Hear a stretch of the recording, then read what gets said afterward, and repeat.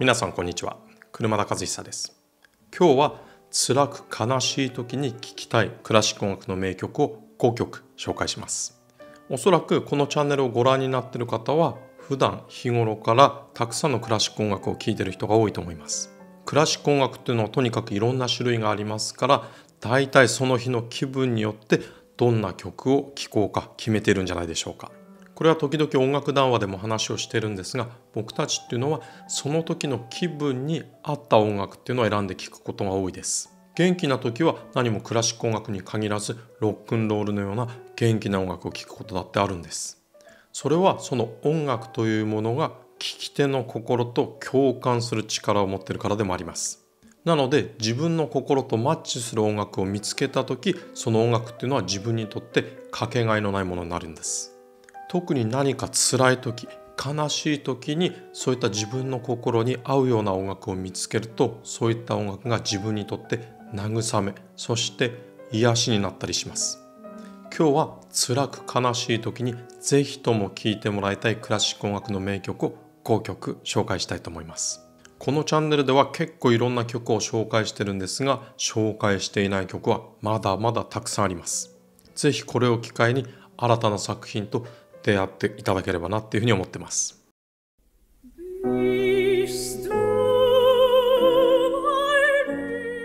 歌曲「 Bist du bei mir」「あなたは私のそばに」は長らくバッハの作品だっていうふうに思われてました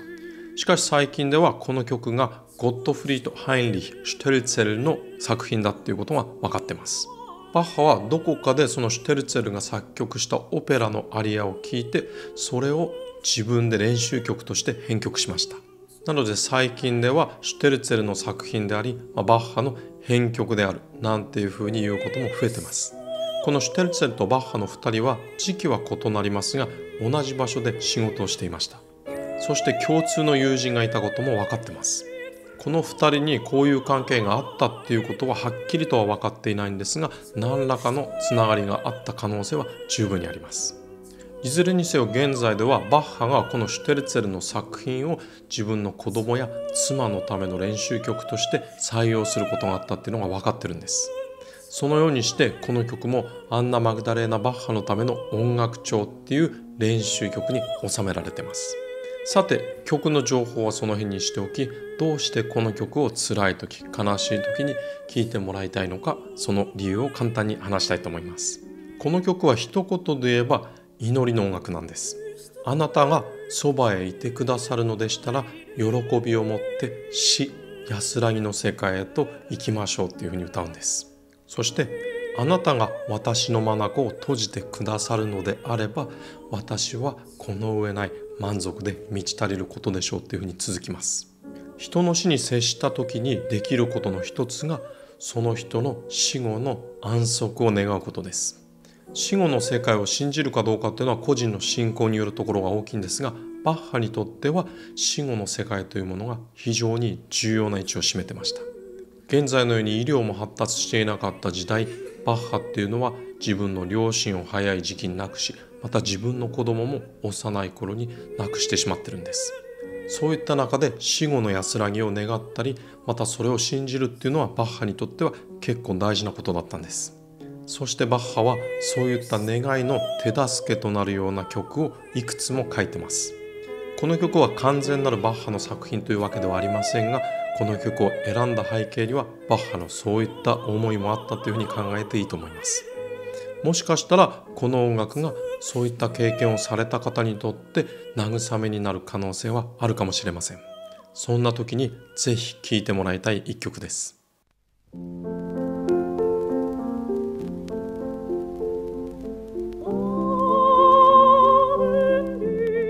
モーツァルトの歌曲「夕べの思い」は1787年に作曲されました。これはモーツァルトの父親のレオポルトが亡くなった少し後のことです。モーツァルトは父を亡くした後で「アイネ・クライネ・ナフト・ムジーク」とか「音楽の冗談」なんていった割と明るくて元気のある曲を作曲してました。それらは父親を亡くした悲しみにどっぷりと浸かるというよりは人前で元気に明るく振り回おうとしている。そんな曲にも感じられます。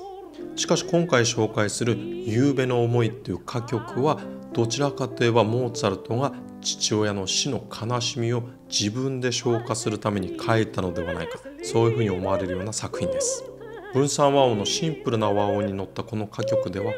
もう夜だ太陽は沈んで月は銀色に輝いてるっていうふうに歌われます。そしてその後で人生の最も美しい時間もこのように過ぎていくっていうふうに続くんです。そうなんです。この曲は人生の舞台に幕が下ろされることを歌った歌になります。ただこれは亡くなった人を偲ぶ歌とはちょっと違います。人生の終わりに差し掛かった自分がどうか私がお墓に入ったらそこに涙を流しておくれっていうふうに歌うんです。そしてその涙は私の冠を飾る真珠となるでしょうっていうふうに続きます。もうすぐ訪れる死というものを一日の終わりである夜に例えたこの歌は蝶々で書かれています。そしてそこは優しさそして不思議な透明感に満ちてるんです。そしてそういう曲は聴き手の心にスッと染み入り涙を誘います。歌詞の内容は少ししか紹介しませんでしたが是非歌詞を見ながらじっくりと聴いてもらいたい一曲です。音楽というのは言葉がなくても感情を表現することができます。だから音楽というものはむしろ言葉では表現できない感情を表しているなんていう見方もできます。でも音楽と言葉が結びついた時その表現力っていうのは何倍も強いものになるんです。言葉がない時はその音楽を聴いて聴衆が何を思い浮かべるのか。これは聴衆の自由です。しかし言葉がある場合はそのメッセージっていうのは非常に強力でダイレクトに伝わります。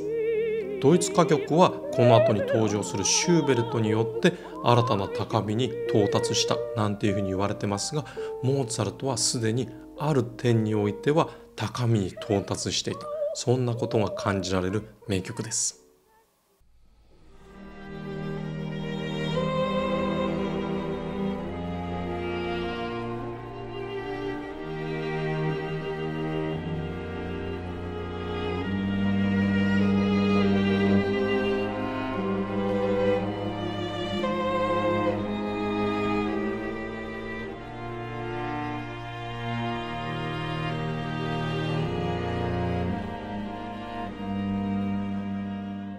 さてベートーベンは晩年にミサ・ソレムニスそれから交響曲第9番という大作を完成させました。この2つの作品はその内容においてもまたは規模においてもベートーベンの最高傑作の一つだっていうふうに言うことができます。ベートーベンは芸術家としての使命を果たすために自殺を思いとどまりました。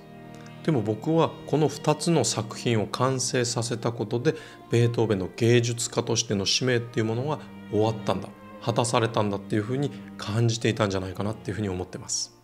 もちろんだからといってベートーベンは作曲家を引退するっていうふうには考えておらず交響曲10番の構想もあったなんていうふうに言われてます。でも50代半ばに差し掛かって体調もそんなに優れなかったことからおそらく自分の先がそこまで長くはないだろうっていうことは予感していたんじゃないかなっていうふうに思います。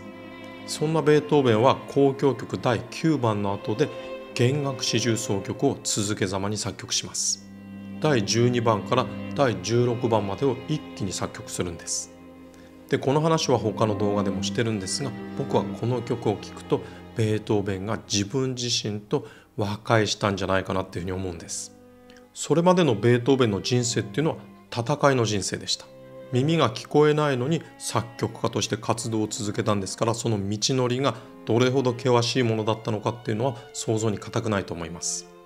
ちょっとでもおかしな曲を書いたらこれは耳が聞こえないからだ。あいつはもう終わりだ。なんて言われかねませんでした。ベートーベンはそんな悪評を流す人たちとも常に戦い続けていたんです。しかし第9番の後の弦楽四重奏曲を聴くとそういった戦いが終わったんじゃないかなっていう感じがするんです。それはベートーベンが耳が聞こえない自分をありのままの自分として受け入れたからなんじゃないかなっていうふうに思います。だから自分自身との和解っていうふうに言ったんです。そんな弦楽四重奏曲の中でもとりわけ人生を振り返るような優しさと安らぎに満ちているのが第13番です。この第13番は全部で6つの楽章でできてます。自分の使命を果たしたって言いましたがベートーベンはまだまだ新しいことをやろうともしてました。仮にこの後で交響曲10番が書かれることがあったとしたら6楽章からなるさらに大きなものになっていた可能性があります。6楽章もあるっていうことでこの曲の中では感情楽章が2つ出てくるんですが中でも第5楽章は何とも言えない優しさに満ちてます。この曲にはカバティーナっていうふうに記されているのが特徴なんですがカバティーナっていうのは簡素な歌のことです。バイオリンがその簡素で素朴な旋律を奏でます。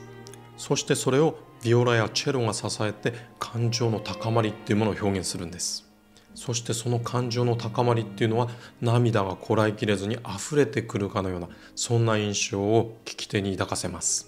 この曲も辛い時悲しい時に心の支えになってくれるような曲です。ぜひ聴いてみてください。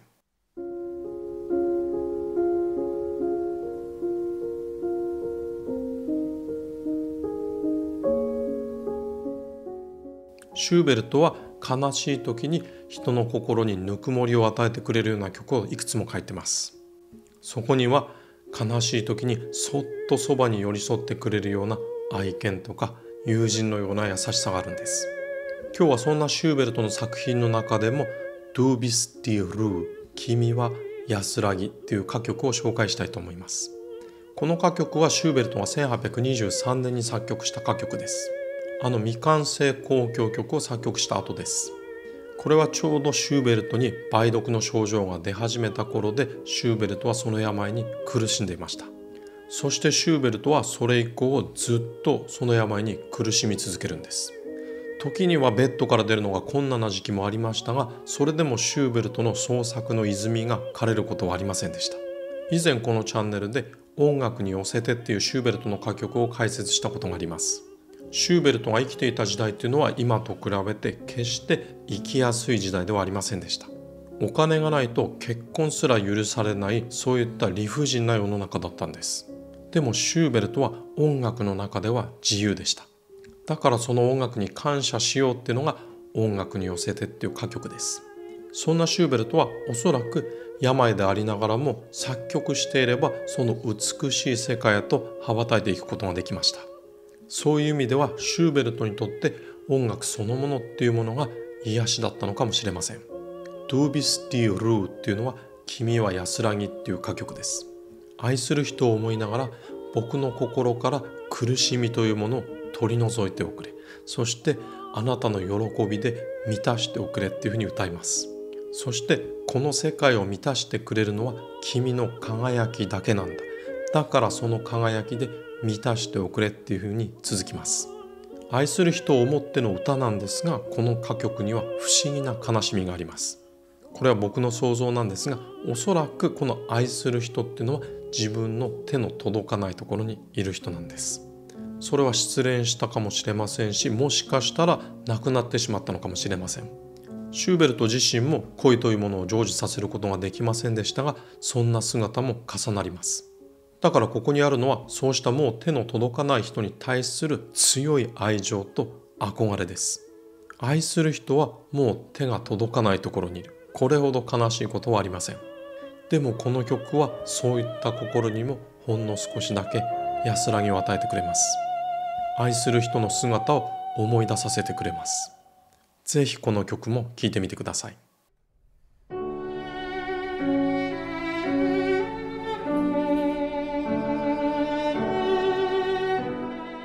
さて言葉にはできない思いというものをとりわけ音楽で表現するのに長けていたのがブラームスです。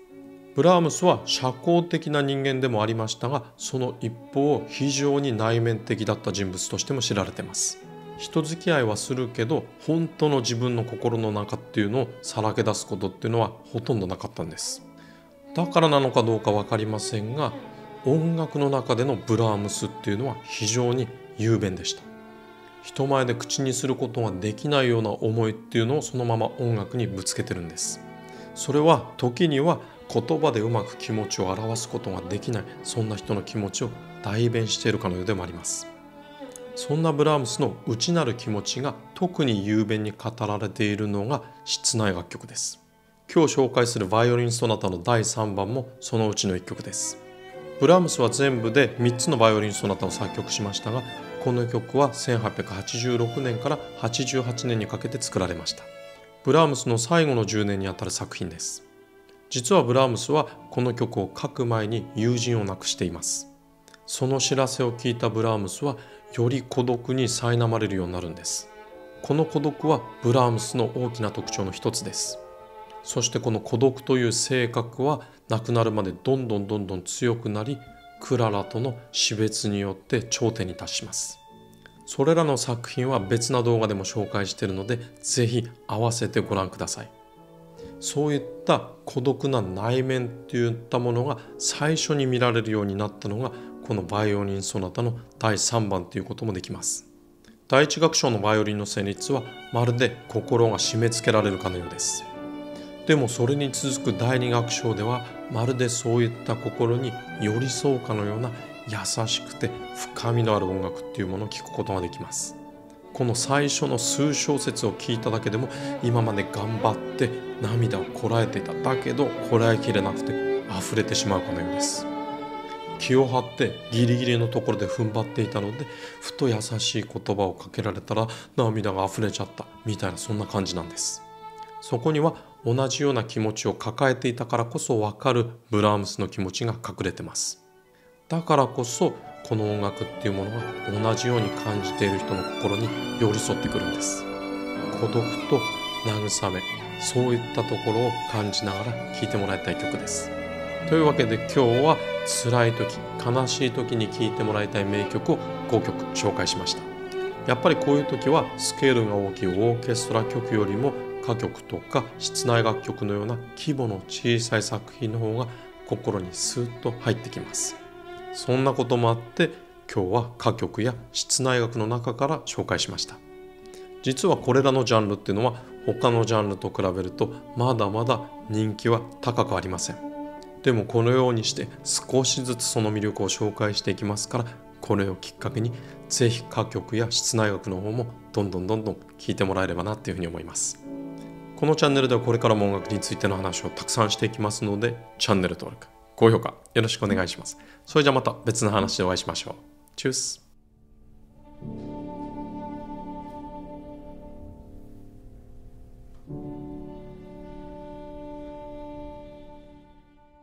それじゃ撮影が終わりましたんで今日もコーヒーいただきます。あーうまい。うん。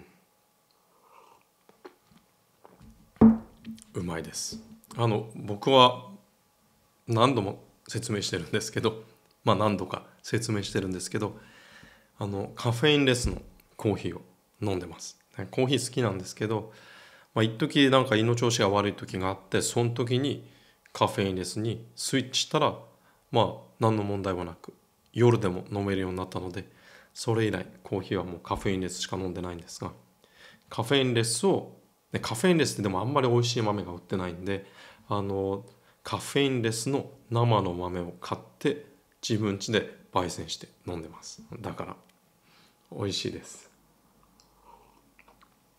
今日は、ね、ここにあるなんかサクサクのお菓子を食べたいと思うんですけど。あの全然このお菓子とちょっと関係ないんですが。あの最近の近況なんですけど。あの僕は実はサッカーが好きでもう10年以上前からボルシア・ドルトムントっていうチームを応援してるんですけど。まあここからね割と近いところにスタジアムがあるんでまあ剣が取れた時は行ったりするんですけどそのドルトムントがなんと11年ぶりにチャンピオンズリーグの決勝に進むことが決まりました。でね今から11年前の決勝は友達ね同僚と一緒にまあビールを飲みながら見ていたんですけどその時はねバイエルにね負けちゃったんです。本当にそれがね悔しくて。で今度ねレアル・マドリッドと対決するんですけど、まあ、なかなかね相手は強いんでまあ勝てるかどうかはね分かりませんけど奇跡を起こして11年越しのね優勝に期待したいと思います。今日はねそんな話でした。まあでも、ね、お菓子も食べてないから食べようか。うん。本当はねチケット買ってロンドンまで行きたいんですけど最近ね我が家に子犬を迎え入れたんで、まあ、家のテレビで観戦したいと思います。うん。なんかお菓子の感想じゃなくなっちゃったけどね、まあ、お菓子はお菓子でサクサクしてて美味しいです。そんな話でした。それじゃあバイバイ。